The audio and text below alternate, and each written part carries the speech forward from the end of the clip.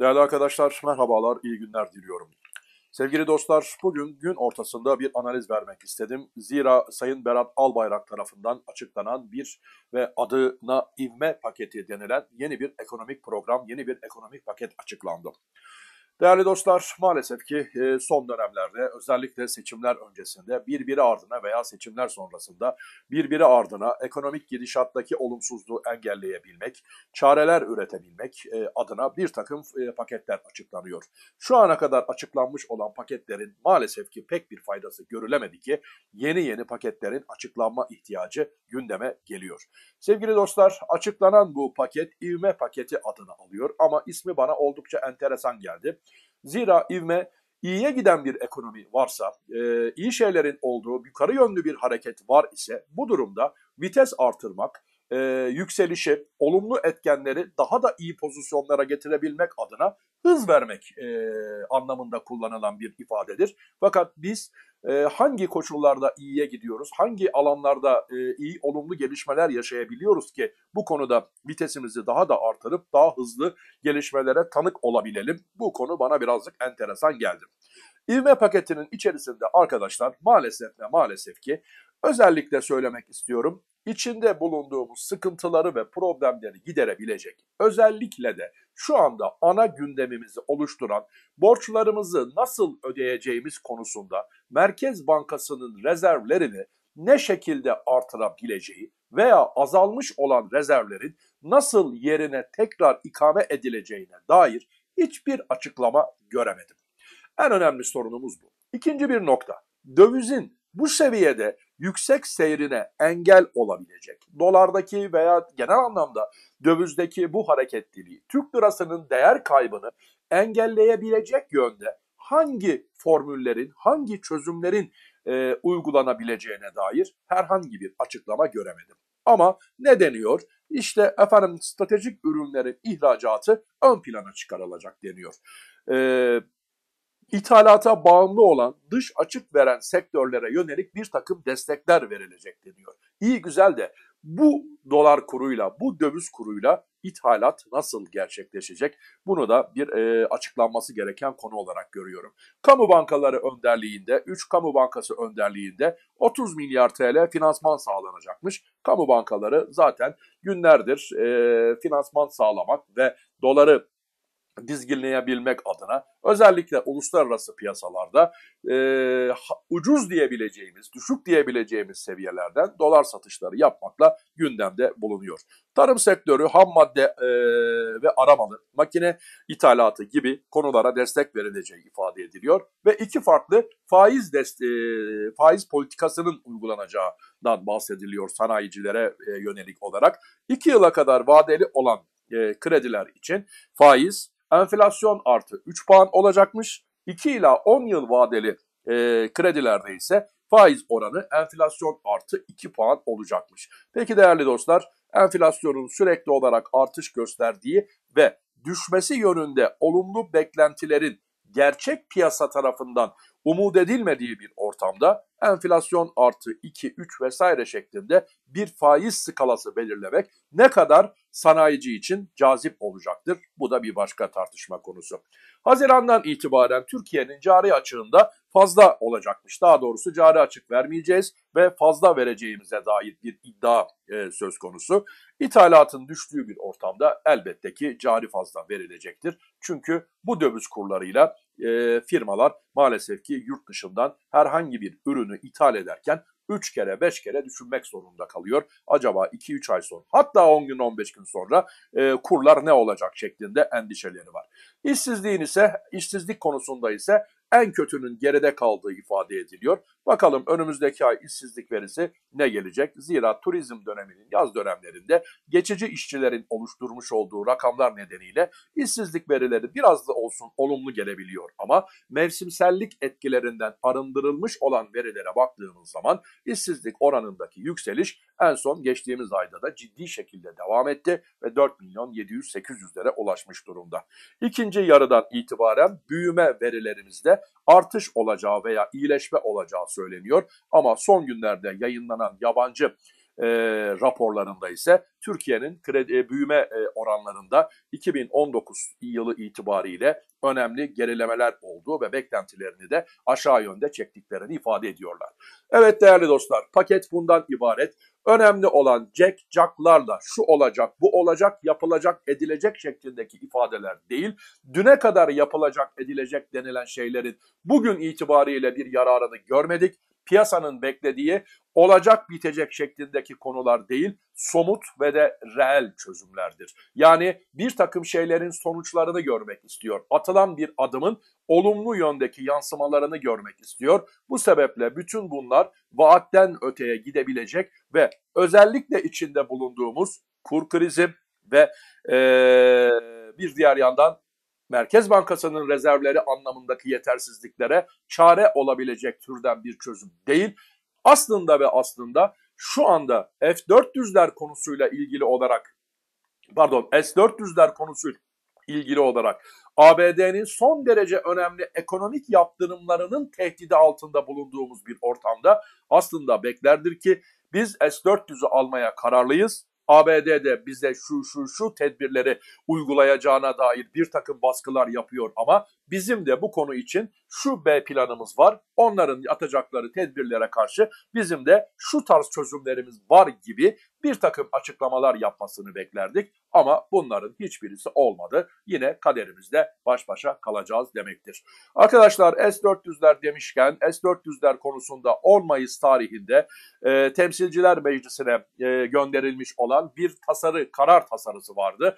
F-35'lerin e, Türkiye'ye teslim edilmemesi ve F-35'ler programından Türkiye'nin çıkarılmasıyla ilgili bir tasarıydı. S-400'lerin alınması hususunda uygulanacak olan yaptırımların en önemlilerinden birisi olarak adlandırılan bir e, karar tasarısıydı. Bu karar tasarısı Temsilciler Meclisi'nden onaylandı. Şimdiki aşama kongre tarafından e, da değerlendirilecek. Şayet kongrede bu katsa denilen e, ABD'nin hasımlarına yönelik yaptırımlar kapsamındaki bu tasarı karar haline dönüşür ve onaylanır ise artık e, mevzu Trump'ın önüne gelecek ve Trump ise bunu imzalayacak veya imzalamayacak ama mevcut koşullar altında imzalamaması için de bir neden pek de görülmüyor gibi. Dolar TL ve piyasalar bazında baktığımız zaman arkadaşlar S-400'ün etkisini fazlasıyla hissetmeye devam ediyoruz. Özellikle Temsilciler Meclisi'nden bu tasarının geçmesi de Dolar TL'de bugünkü hareketliliğe bir miktar daha Sayın Albayrak'ın paketindeki isimden yola çıkarak ivme kattı diyebiliriz. Hızlanan, yükselen bir trendin oluştuğu bir ortamda dolar biraz daha ivmelenmiş oldu ve 6.15 sınırına kadar ulaşmış durumda. Piyasalar e, Sayın Albayrak'ın açıklamalarına ne olumlu yönde ne olumsuz yönde bir tepki vermedi. Şu an itibariyle dolar TL'nin 6.15 en yüksek seviyeyi gördükten sonra 6.13'ler civarında hareket ettiğini görmekteyiz. Dolar TL için arkadaşlar e, sizlere aktarmış olduğum grafiklerde sürekli ön plana çıkarmış olduğum şu noktadaki 6-17-50 direncini son derece önemsiyorum. Bu direnç e, yakından takip edilmeli. Bu direnç aşılacak olur ise 6-20-23 bölgesi önem kazanacaktır. Ama bu seviyelere kadar bir atak olmasından ziyade 6-17 direncinin net olarak aşıldığı ve üzerinde kapanışlar yapıldığı görülebilmeli ki 6.40 seviyesine yönelik bir atak gelişebilsin veya devamı gelebilsin. O halde 6.17 direncine yakından dikkat etmekte yarar olduğunu bir kere daha vurgulamak istiyorum. Ve yine sevgili dostlar 6.14.66 seviyesinde de bir Fibonacci direncimiz bulunuyor. Zira bugün 6.14.66'nın etkisini yaşıyoruz. 6.15 üzerine hafif bir yükseliş oldu ama 6.14.66 üzerinde bir seyir kazanamadık. Zira bu seviyenin de önemli bir direnç olduğunu şu bölgelerde gördüğünüz gibi bu direncin üzerine çıkıldı ama tutunma yaşanamadan geri dönüldüğüne tanık olmuştuk. O halde 6.15 ila 6.17 aralığı şu an için yakından takip edilmesi gereken bir seviye konumunda. Dünkü analizlerimizde 6.13 ve 6.15 aralığının önemli bir direnç bölgesi olduğunu zaten vurgulamıştım. Şu an itibariyle dolar TL'de güçlü bir seyir hakim. Günün ilerleyen saatlerinde eğer 6.15, 6.17 aralığına yönelik bir atak olur ve buradan yeni satışlar gelecek olur ise bu durumda takip etmemiz gereken en önemli seviye 6.10.50 seviyesi olacaktır değerli dostlar. Sevgili arkadaşlar 6.10.50 seviyesinin önemine birazdan değineceğim e, hassas çizimlerimizin e, bulunduğu grafiğimiz itibariyle e, sarı kesik çizgilerimizin mevcut bulunduğu 6.15-99 seviyesinde direncimizin oluştuğunu görüyoruz. Bu direnç şu an için önemli bir direnç konumunda. Buranın aşılması durumunda 6.17-50 seviyesine önem veriyoruz ama bu seviye üzerine sıçramalar olacak olur ise bu durumda değerli dostlar kırmızı kesik çizgilerimizin oluşturduğu 6.20 seviyesine, 6.21 seviyesine özellikle dikkat etmemiz gerekecektir. Ana destek noktamız ise şu an itibariyle 6.05 seviyesine yükselmiş durumda gün içi anlık değerler itibariyle.